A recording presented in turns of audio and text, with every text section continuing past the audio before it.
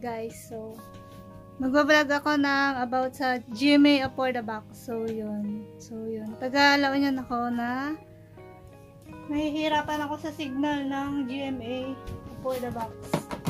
So yun. Ito guys, pakita ko sa inyo. So papakita ko sa inyo. Yan. So yun. Kakabili ko lang itong GMA Affordable kasi mag-start ng Itbulaga bukas, July 1. So, yun, napabili ako. So, ang problema ng GMA for the box is walang signal dito sa La Union. So, nahihirapan ako. Kung antenna is nilagay na namin sa rooftop sa 4th floor, same pa rin. Kinonect na namin siya sa cable ng, ano ba to? Naka, nakakonect yung antenna na sa labas sa cable. Tapos yung antenna ng nag-inextend namin sa antenna ng TV ng TV for the box. So yun, may solusyon akong nalaman. Dahil sa gustong gusto kong manood ng Bulaga bukas. And makita ko sa inyo. Itong TV namin is JVC na hindi pa siya smart TV. So, napakatagal na nito. Siguro mga 10 years na tong ano na to. So, i-try natin. On ko tong Koy, sigurado nga yung number na text mo. So, meron na siyang channel. Napakaganda. Eh, ba kasi sa tagal ng.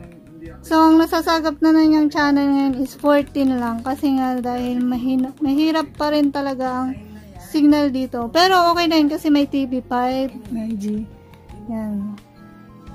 Luminaw na. Tingnan natin mga signal niya. Signal niya is 100. Quality is 100%. 32.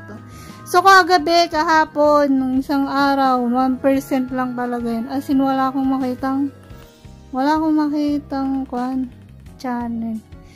Kanina ko lang napagtanto talaga dahil sa gustong gustong manood ng gusto manood ng bulaga. So, dami ko nang ginawa. Itong pinaka-antena niya is hinanapan ko lang talaga siya ng signal.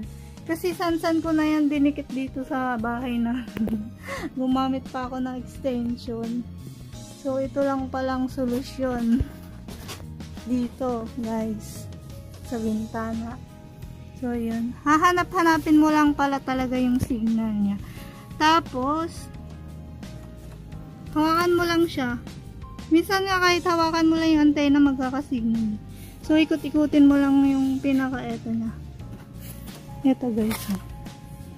Itong pinaka-ano. Ikot-ikutin mo lang yan hanggang sa magkaroon ng signal. And then, hanapan mo lang talaga siya ng signal. So, yun. Indoor antenna. Gumamit na ako ng outdoor antenna, wala. So, sa indoor antenna ko lang pala talaga siya mahahanapan ng signal. So, yun. Huwag kayong susuko kasi yan. Katulad ito. Sa bintana lang pala namin. Siya makakasagap ng channel. Yun nga lang hanggang 14 channel lang siya. So, yun. Dikit-dikit nyo lang dyan. Kasi, yun. Ako hindi ako sumuko eh. Naghanood na rin ako ng YouTube. Tapos nakikita ko, may nakita ko na nag-post. Laon yun din, walang signal. So, yun. Dami na yung channel. Ang nakakatawa pa kasi kapag ginagalaw ko yung antena, malinaw yung TV5. Tapos malabo ang channel 3. Ay, ang GMA. So, kapag nilipat ko naman yung antena, malinaw naman yung GMA, malabo naman yung TV5. So, yun. Hanggang sa, hindi ko tinigilan, hanggang sa ginit na ako. Ngayon, pareho na ngayong may channel. Malinaw ang channel. Both TV5 and but GMA. So, makikita nyo naman, guys. Ayan. TV5. Oh, ang linaw na niya, oh. Untik na akong bumili ng TV eh. Kasi sabi smart TV daw. Yung mga mga bagong TV na ngayon. Doon daw magandang makasagat ng signal. So, yan oh. Nakailang beses na rin ako mag-scan dito hanggang 14 channel lang siya. Siguro kung nasa NCR ka or kung anong lugar mo, uh, ma maabot mo yung 30 plus na channel nga na tong Up the Box. Pero masaya na rin ako dito kasi at least may 14 channel siya. So, try natin scan. Kasi baka mawala pag nag-scan na naman ako, mabawasan. Ayan guys. Kita nyo na.